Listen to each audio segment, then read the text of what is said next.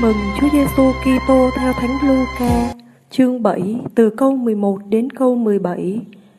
Sau đó, Đức Giêsu đi đến thành kia gọi là Na-in, có các môn đệ và một đám rất đông cùng đi với người. Khi Đức Giêsu đến gần cửa thành, thì đang lúc người ta khiêng một người chết đi chôn. Người này là con trai duy nhất và mẹ anh ta lại là một bà quá có một đám đông trong thành cùng đi với bà. Trông thấy bà, Chúa chạnh lòng thương và nói, bà đừng khóc nữa. Rồi người lại gần, sờ vào quan tài. Các người khiêng dừng lại, Đức Giêsu nói, Này người thanh niên, tôi bảo anh, hãy trỗi dậy. Người chết liền ngồi lên và bắt đầu nói, Đức Giêsu trao anh ta cho bà mẹ mọi người đều kinh sợ và tôn vinh Thiên Chúa rằng một vị ngôn sứ vĩ đại đã xuất hiện giữa chúng ta và Thiên Chúa đã viếng thăm dân người. Lời này về Đức Giêsu được loan truyền khắp cả miền Jude và vùng lân cận. Hôm nay, giáo hội mừng lễ nhớ thánh nữ Monica, bốn mạng các bà mẹ công giáo Gia đình của thánh nữ Monica không có gì nổi bật trong làng. Cha mẹ ngài là những người bình dân nhưng đạo hạnh hay thương người. Thánh nữ sinh năm 332 tại làng Sukara bên Phi Châu.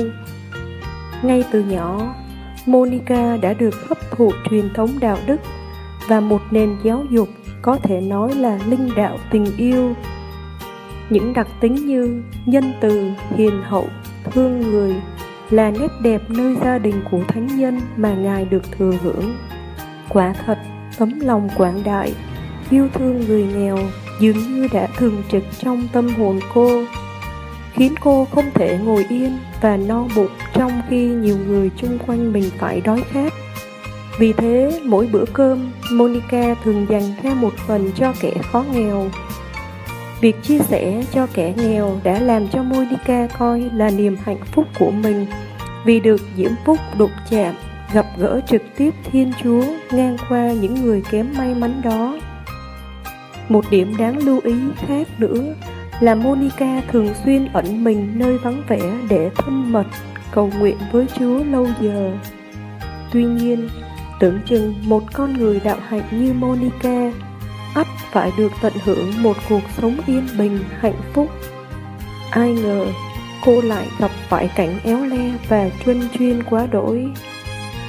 Năm 22 tuổi, vì vâng lời cha mẹ, Monica đã kết hôn với Batisus. Chồng cô thuộc dòng dõi quý tộc, vì thuộc về thành phần giàu sang trong làng, nên ngay từ nhỏ, chàng Batisus đã được nuông chiều thái quá dẫn đến tình trạng ngang tàn, hách dịch, nghiện rượu, tính tình nóng nảy và không chung thủy, độc ác và tàn nhẫn.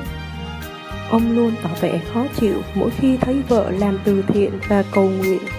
Hơn nữa, sẵn có lợi thế con nhà giàu, lại hơn tuổi của Monica quá nhiều, nên Batisus thường xuyên thể hiện vai trò chủ tôi đối với cô. Mặt khác, cô lại còn phải chịu cảnh hất hủi của mẹ chồng. Điều làm cho Monica buồn nhất đó là bà lại hùa theo con trai để bênh vực chủ trương không tôn giáo và đời sống phóng khoáng, tự do cho Batisus. Vì những lý do đó, cuộc sống gia đình của Monica gặp rất nhiều khó khăn, đau khổ. Thêm vào đó, sau khi sinh được Augustino, người con trai đầu lòng. Bà vui mừng phấn khởi, nhưng chẳng bao lâu Augustino buông theo lối sống của cha, nên cũng trở nên lêu lỏng, phóng túng. Nhưng khi gặp những nghịch cảnh ngập đầu, Monica không hề oán trách, nhưng Ngài đã tìm ra những liều thuốc giải độc tốt nhất cho linh hồn mẹ chồng, chồng và các con. Đó là sự hy sinh, lời cầu nguyện liên lỉ cộng thêm những đức tính tuyệt vời như lòng bác ái, tình yêu thương, tinh thần quả cảm, đức tính khiêm nhường và vững tin vào Chúa. Vì thế, chúng ta không lạ gì khi Monica vẫn một lòng yêu mến, kính trọng chồng và mẹ chồng. Lại luôn sống làm gương sáng cho các con, yêu thương giúp đỡ dân làng. Vì vậy, mưa dầm thấm lâu, Thiên Chúa đã thưởng công cho Monica. Đó là mẹ chồng và Tarchissus đã xin rửa tội và tin theo Chúa. Còn Augustino đã chia tay bè rối Maniche, dị nguyên là một tà thuyết chống lại giáo hội và đức tin của công giáo mà ông đã dồn toàn tâm toàn trí trong suốt 9 năm trường. Sau đó, Ngài được rửa tội. Hai người con còn lại là Navio và Perpetua cũng xin chịu phép thanh tẩy và gia nhập giáo hội Chúa. Sau này cả hai đã đi tu dòng. Niềm vui tột cùng đó đã làm cho Monica thốt lên với Augustino trong những giây phút cuối đời.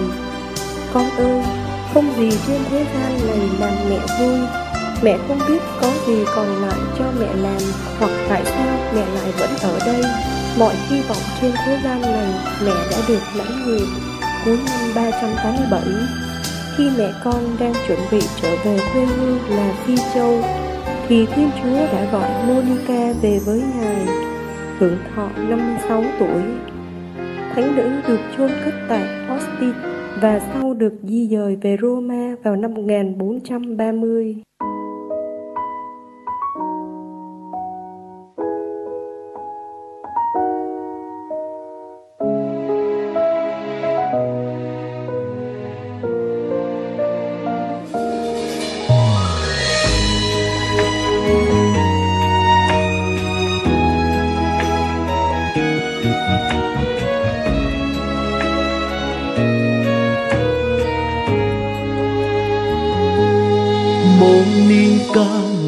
Mẹ mẫu gương, Monica, người mẹ yêu thương. Qua bao khổ đau lắng lo trên đường đời mẹ luôn hy sinh can trường vì con yêu xa vòng tâm tôi mẹ đau thương lo buồn khôn với cầu mong cho con mình vượt qua, nước mắt là lời kinh thiết tha.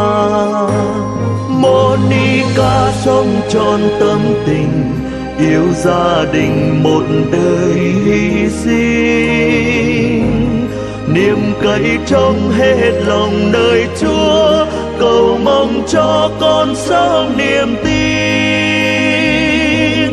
Lời người xin Chúa đã đói nhận, ban cho đời một vị thánh nhân. Lòng tri ân Chúa đã làm nên, ban cho đời tấm gương dạng ngời.